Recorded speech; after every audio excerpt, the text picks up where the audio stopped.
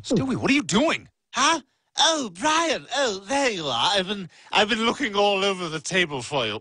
You know, I'm going to tell you, this stuff you gave me was a lifesaver last night. I was out like a light. And, you know, normally I'm up five or six times to scream and defecate. Eh, But you know what? I slept straight through. Stewie, I told you there's alcohol in that. It's not for kids. You're not for kids. Stewie, you're drunk. Oh, this is, oh, Brian's all serious. Oh, I don't, I don't drink in the morning because I've got to land a plane. Right, come on, I got to drive you to daycare. okay, okay, it's all right. Uh, calm down, calm down. Uh, uh, uh, uh, I think I, I think I've put my shoes on the wrong feet. Is it 9.15 already? Lois, we got to go.